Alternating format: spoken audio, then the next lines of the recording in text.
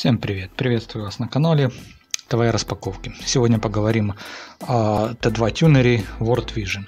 Этих тюнерков есть несколько вариантов. Там разные цифры, там T624, M3, D3, D.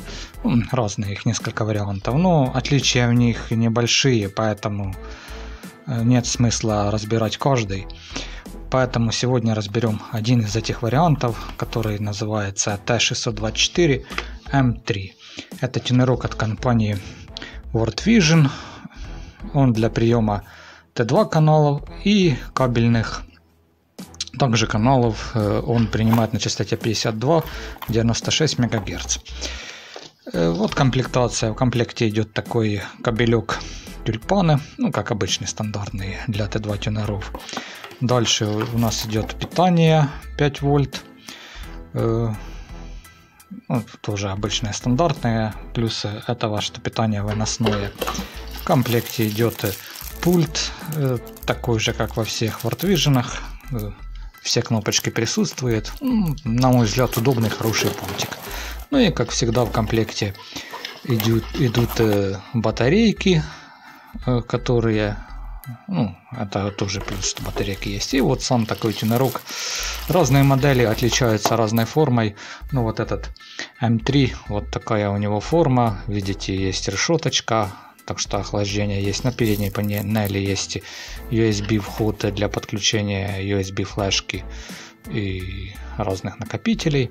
Сзади есть T2 выход, еще один USB можно подключать Wi-Fi адаптер, HDMI кабель, AV выход и питание, которое тоже можно подключать. Все дырочки на месте, вентиляция будет работать. В принципе, греться он сильно не должен. Сейчас мы его подключим к телевизору и посмотрим, какое меню. Попробуем настроить, отсканировать каналы. Ну и посмотрим, как он работает э, от интернета, какие есть приложения.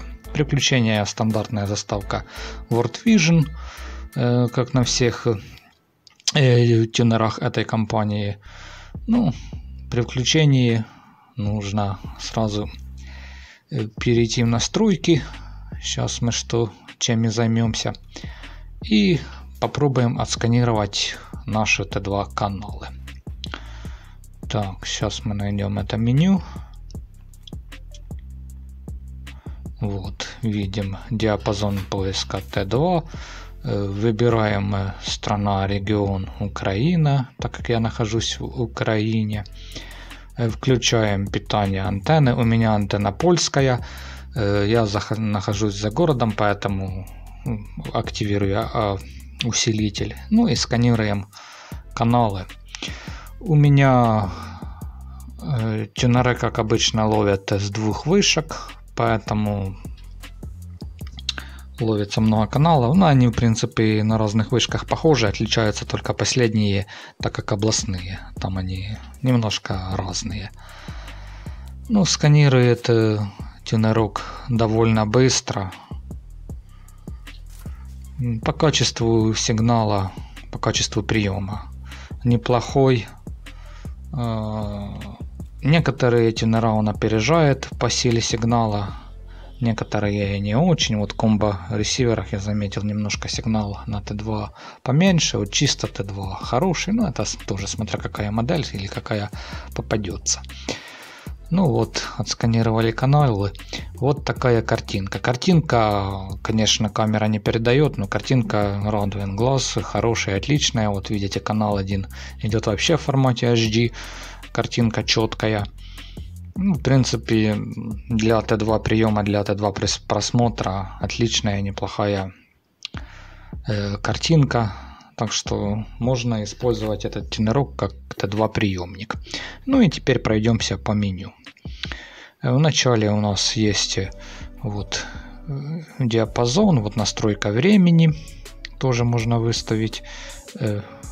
Таймер, запуск режима IPTV, режим ожидания Э, плановое включение-выключение и регион время. Можно здесь все настроить. Э, язык меню, язык телегида, язык субтитров, язык телетекста, язык аудио. Э, цифровой зум и история переключений. Это такое тоже следующее меню в настройках. Тоже можно настроить по своему вкусу. Э, дальше у нас идет родительский контроль. Установить можно пароль, вернуться к заводским настройкам, информация. Вот как мы видим, последняя версия прошивки 7.10 21 года. Так, версия Э, прошивки 1.3, об, оборудование, видите, 4 мегабайта памяти и 64 э, оперативки. Э, ну, обновление АПО можно обновлять через USB и можно обновлять э, через сеть. Но чтобы обновлять через сеть, нужно подключить к Wi-Fi адаптеру. И вот я подключился к своей сети. И видите, появляется такой зеленый замочек.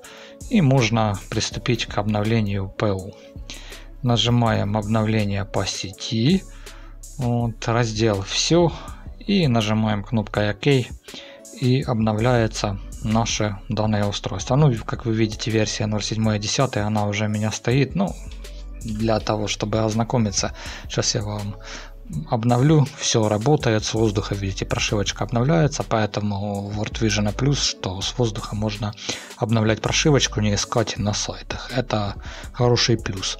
Но после обновления нужно обязательно как бы ну, заново настраивать сканировать каналы, заново подключаться к сети, но я думаю, это не сложно. Во всех тенерках оно как бы стандартное. Так, ну вот видите, идет обновление. Прошло успешно. После обновления тюнерок перезагружается. Так, сейчас вы как видите. Вот опять такая заставочка. Ну и посмотрим, что работает. Эта версия уже ну, за 7 и 10 можно сказать интересно. Я покажу чем.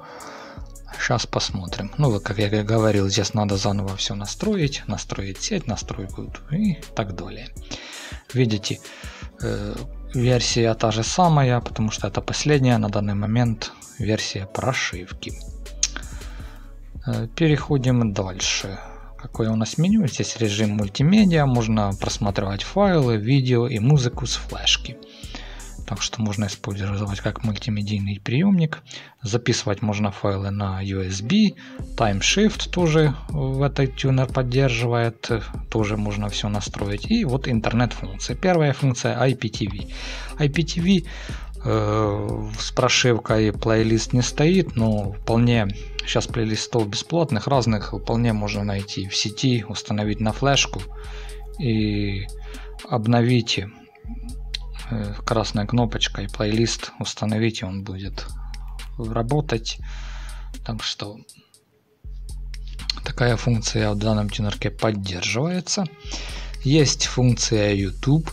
Ну, с новой этой прошивкой YouTube работает, так что можно включать, смотреть и разные YouTube ролики, и YouTube фильмы. Вот, например, давайте сейчас запустим фильм с YouTube, как он работает. Включаем вот этот и вот видите фильм пошел. YouTube идет быстро на этой прошивочке. YouTube работает отлично. Так, фильмец пошел. Вот, ну, картинка тоже неплохая. Чуть-чуть похуже, как эфирный от этого, но это зависит от скорости интернета. Так, следующая функция э, в разделе интернет это MegaGo. Мегаго тоже здесь работает, э, фильмы, сериалы есть, правда некоторые фильмы и сериалы идут платно, ну не все можно здесь посмотреть. Ну, в принципе, поискать, побаловаться можно. Есть функция погода, тоже здесь все в настройках можно выставить свой регион. Можно погода на 5 дней, все можно выставить и просмотреть. Функция RRS новости. Я считаю, эта функция лишняя, потому что, ну, может кому-то и надо. Star, Stalker портал есть тоже, если у вас есть э, аккаунт Stalker портала, можно прописать в настройках и смотреть IPTV, Wood и другие функции Stalker портала. Также есть здесь Extreme портал, тоже все можно настроить просматривать тоже э, поддерживает этот тюнерок эти функции. Ну и есть вот новая функция в этой версии TikTok. Правда, он, как вы видите, не работает. Может в будущих прошивках поправят, но я думаю, это уже будет интересно. Я, можно сказать, радует, что уже есть такая функция. TikTok сейчас набирает обороты, поэтому в тюнерках неплохая функция. Но только, дождемся только работы. Или может где-то уже есть прошивка или дам какой-нибудь, где эта функция работает. Ну и функция DLNA есть. И настройка DVB э, to IP. Тоже можно все настроить. Так что вот такой обычный стандартный тюнерочек. Ну, интернет-функции, мне кажется, слабенькие. TikTok э, функция уже, конечно, интересная. Ну, в принципе, для Т2 просмотра и немножко добавить, расширить интернет-функциями, Тинрок пойдет. Так что интересный Тинерок, их очень много выпустила World Vision, разных Т2, там разные модели. Ну, в принципе, они все похожи. Всем спасибо за просмотр и до новых